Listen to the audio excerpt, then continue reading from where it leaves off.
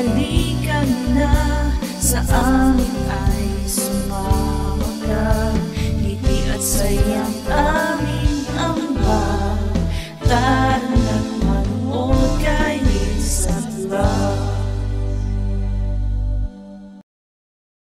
Ohayo Team Leo sa Ohayo mga bruso. Today, isi-share ko na po yung updated version ng ating pork lechon belly. So tara na, let's start! So first, kailangan muna natin gumawa ng brine para sa ating pork belly. So, ito po yung aking basic brine. Sariling ingredients ko po ito. Pero kung may mahahanap po kayo online, pwedeng pong yun na lang po yung sundan ninyo. Meron po ako ditong 20 cups ng water, 1-4 cup po ng toyo, either dato puti or silver swan or marka pinya. Kayo na pong bahala, pero dapat toyo po natin sa Pilipinas. Tapos meron din po itong sibuyas, bawang, pamintang buo, dahon po ng laurel, tapos lemongrass, 2 tablespoon po ng salt, and 3 tablespoon po ng brown sugar. Tapos ngayon, papakuluan na po natin yung ating brine mixture in a medium heat for about 5 minutes lang po.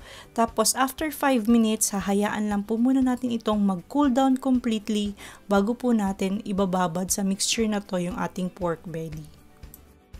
So after mag-cool down ng ating brine, nilagay na po natin yung ating pork belly, tapos nilagay natin siya sa ref, ibinabad natin siya for 24 hours. So after 24 hours, ayan, ready na po yung ating pork para maging pork lechon belly. Gawin nyo na lang po kung ano yung mga ginagawa ko dyan sa screen, okay?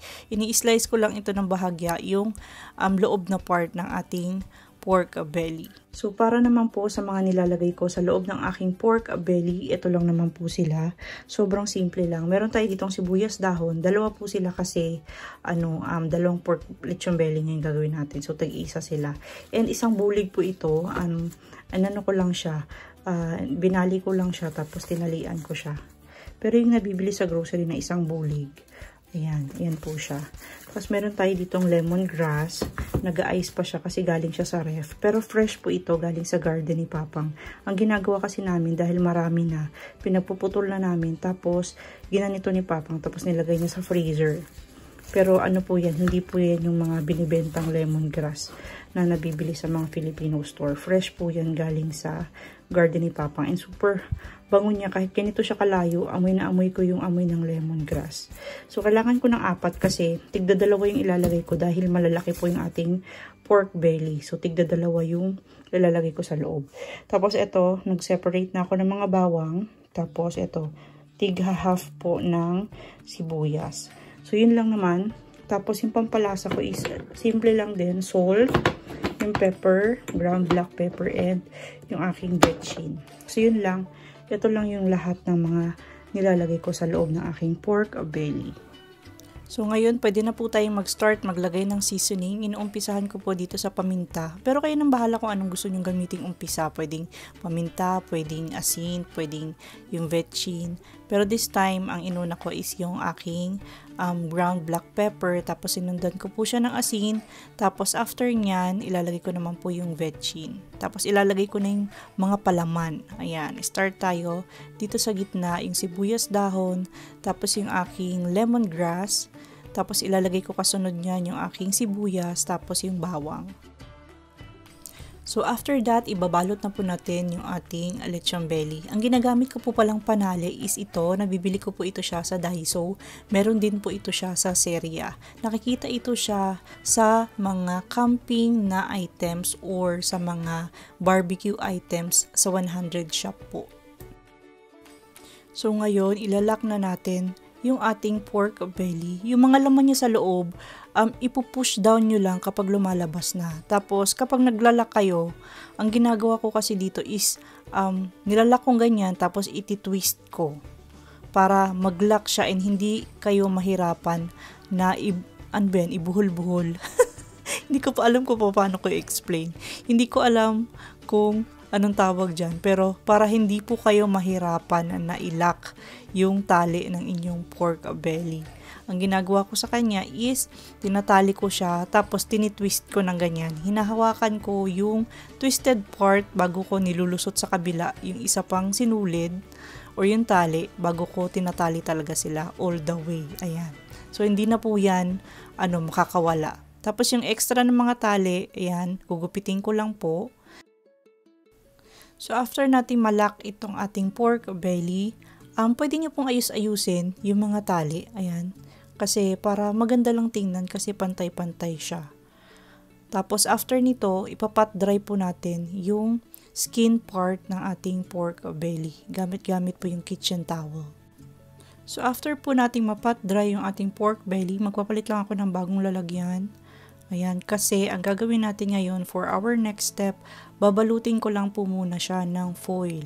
Kasi para ma-prevent ang pagkasunog ng ating pork belly kasi po, yung first hour and a half or 2 hours ng pagluluto natin sa kanya, medyo malakas po yung or mataas yung temperature po ng ating oven. Para ma-make sure lang na sa loob ng 3 to 4 hours is luto po talaga yung ating pork belly. So, para maiwasan yung pagkasunog ng outside part, yung first 1 hour and a half to 2 hours ng luto niya is um, kailangan po natin siyang lagyan ng foil. So for the baking tray naman po, ang ginagawa ko is yung aking baking tray, binabalutan ko po siya ng foil. Bakit ko siya binabalutan ng foil? Kasi po, minsan may mga tilamsik po na mahirap linisin sa tray. So, mas madali ko siyang malilinis or matatanggal yung mga tilamsik kasi tatanggalin ko na lang itong foil kapag lilinisan or huhugasan ko na po yung aking baking tray. Tapos after that, ilalagay ko po yan parang cooling rack na yan and dyan ko po ipapatong yung aking pork belly. So after nating mabalutan ng foil yung ating pork belly, ang sabi ko nga, kailangan po sa mataas na temperature siya lulutuin sa loob ng 1 hour and a half to 2 hours. This time, nasa 220 degrees Celsius oven po siya ilalagay.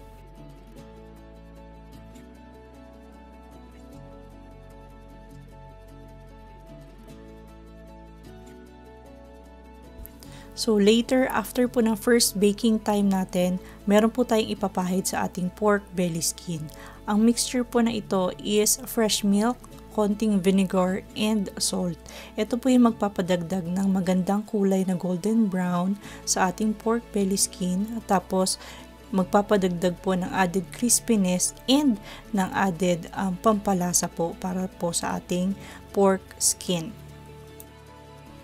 So, ito na yung ating pork belly after 1 hour and a half. Ngayon, tatanggalin na po natin yung kanyang foil.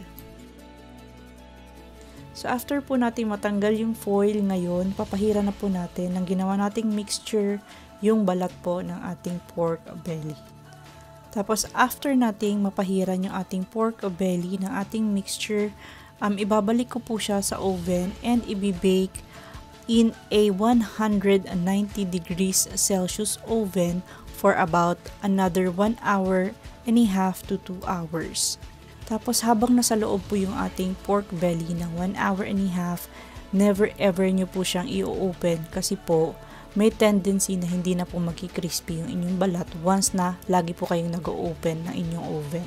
So after baking, ito na po yung ating pork lechon belly. And that's it for today's video recipe tutorial ng ating updated version ng pork lechon belly. Sana po itry ninyo. And kung nagustuhan ninyo, comment po kayo sa ibaba. Balik po kayo sa video na to. Pero kung hindi niyo nagustuhan, manood na lang po kayo ng ibang version ng pork lechon belly.